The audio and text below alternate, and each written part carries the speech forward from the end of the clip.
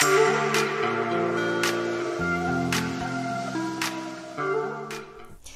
everyone! So for this video, isi-share ko sa inyo kung paano ako nakarating ng Finland, kung paano yung naging process, kung ano yung mga pinagdaanan, and kung anong agency pwedeng mag-apply para magkaroon ng work dito sa Finland.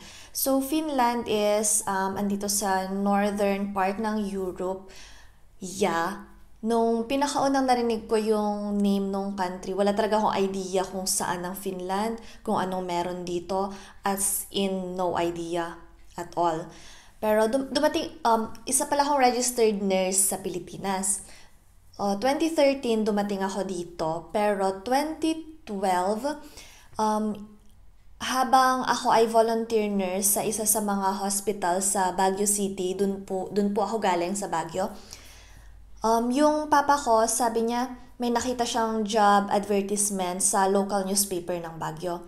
So, di tinignan namin. Um, they are hiring registered nurses na dadalhin nga nila dito sa sa Finland. Sabi ko, sige, um, i-try pa rin dahil nga ang hirap namang maging, maging, ang hirap kumuha ng trabaho sa Pilipinas, alam nyo yan, lalo sa mga nurses, napakadami natin doon. So, dun sa job ad- advertisement, um, may name dun nung agency na nag-hire ng nurses. So, sasabihin ko yun sa inyo mamaya.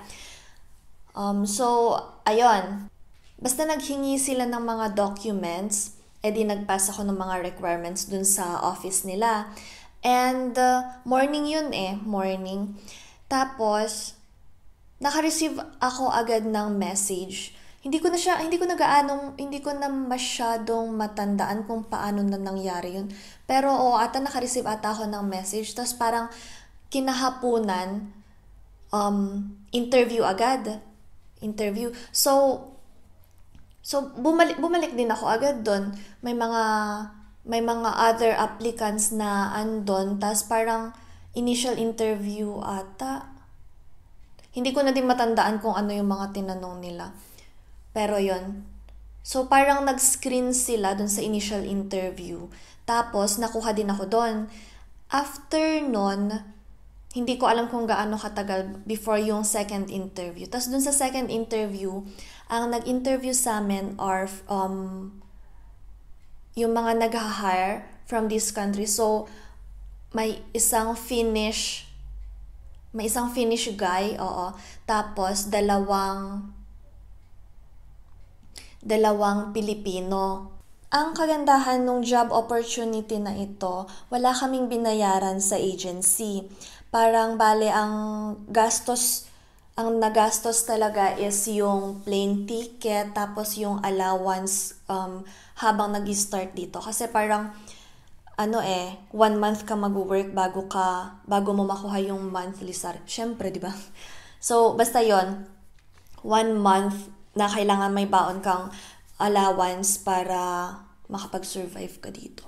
Ito nga lang ang ano, ang hindi naman siya negative side, hindi din siya downside, pero siguro um, hindi ko alam kung paano siya iti-take ng ibang tao. Pero sa akin kasi that time it was a good job opportunity. Dumating kami dito sa Finland, um, I mean, registered nurse ka sa Pilipinas.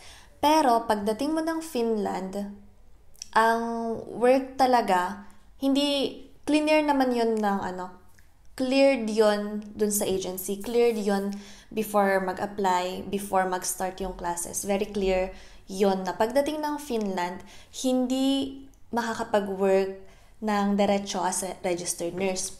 So, nung pagdating namin dito, um, may twice a week na klase kami, pero through ano lang naman, um, online. Um, so, kahit nasa work kami, parang pwede kaming ma-pull out for 2 to 3 hours para dun sa online course. So, very, ano siya, hindi siya ganun kahirap.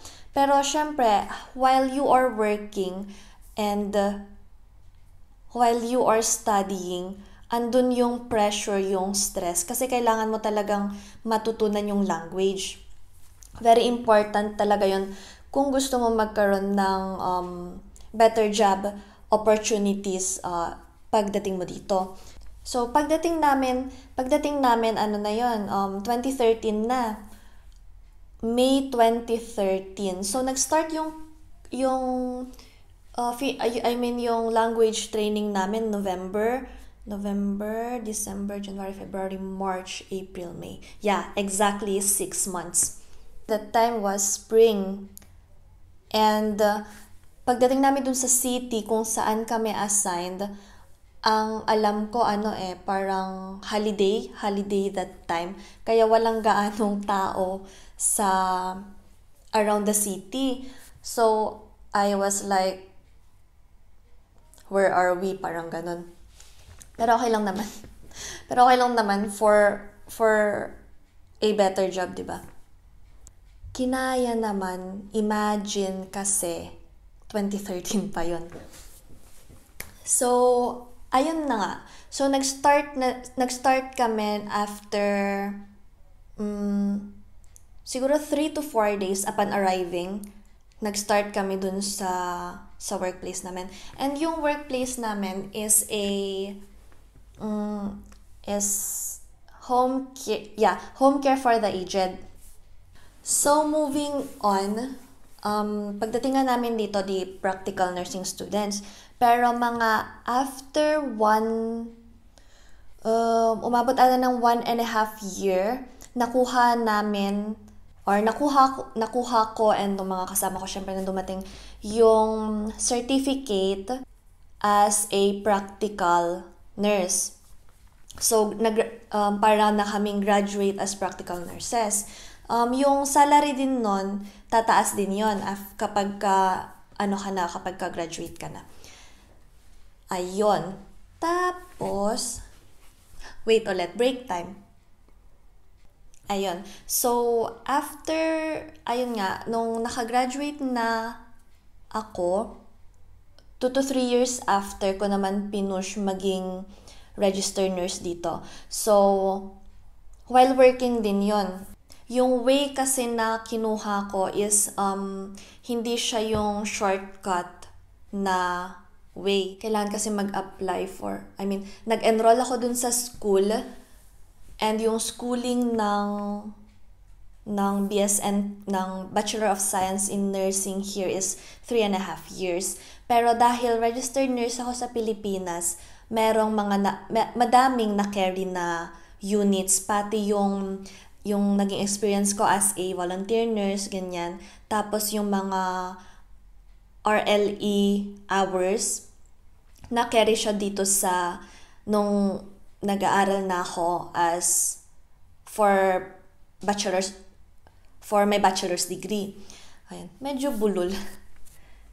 So ayun, um dahil nga nagwo-work ako at the same time, medyo mas napahaba yung yung study period ko ang goal ko kasi noon is in one and a half, after one and a half years, makagraduate ako.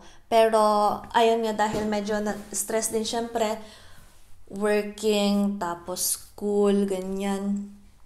Um, kinuha ko siya in two years. Mainly because yung thesis, dahil inulit ko yung thesis ko. So, ayun. Um, after two years, nakuha ko naman yung license ko na talaga to practice as a registered nurse. Tapos, syempre, after that, um, nag-try na ako ng mga different wards and siguro sabihin na natin after that medyo naging mas confident ako dun sa level ng Finnish language ko. Kaya, ayun, nakapumunta na ako ng hospital, ng, ng ward, yun yan. Tapos ng mga iba pang workplaces. So, ayun, um, for more than seven years, ayun yung mga napagdaanan. Pero, okay naman. May mga ups and downs, pero um, sabihin na nating sa kabuuan, okay lang. Okay yung naging okay na nag-start ako as a practical nursing student na naging practical nurse. Tapos after that, dun pa lang ako naging registered nurse ulit dito. So, yun. Ah, yun nga pala. Muntikan ko makalimutan. Yung name ng agency is Topmake International Manpower Services. Ayan. Um, pwede nyo silang is-search sa Facebook. Ang alam ko, meron silang Facebook page. Tapos doon, pwedeng mag-inquire. And hindi na lang ito sa Baguio. Because I know some nurses na nakarating dito, eh, um, nanggaling sila ng Manila. And hindi na lang din sila sa Finland lang kumukuha, pati sa Sweden. So, kung gusto nyo um, pumunta din ng Sweden, may, may, may option. Yon. Pero, syempre, kahit punta ng Sweden, um, kailangan pa rin mag-aral ng Swedish language or pag dito naman, Finnish language. So, sa mga fellow nurses ko dyan sa Pilipinas, I hope nakatulong kahit papaano itong video na to. Nagkaroon ng idea. Siguro nakapag-share ako ng idea kung saan may mga pwedeng job opportunities. Ganyan.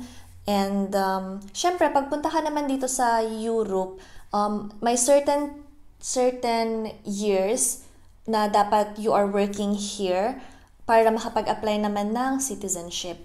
Um, for me, it was more than 4 years before ako nakapag-apply or almost 5 years. Ayun kasi yung yung ano talaga, yung years para makapag-apply ka. Pero alam ko pwede din kasing before before yung 5th year mo, pwede ka na mag-apply. So, yeah.